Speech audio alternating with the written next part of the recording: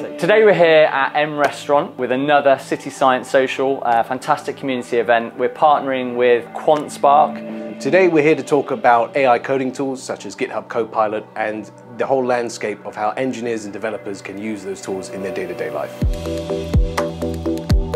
This TrueNorth event um, has been a fantastic opportunity for me to network with people who are basically in, in data and mostly data scientists.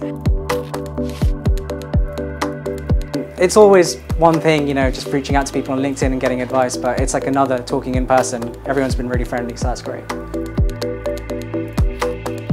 So really, really great day, and I hope you guys um, really organize more events like this. I really look forward to uh, attending that in the, near, in the near future.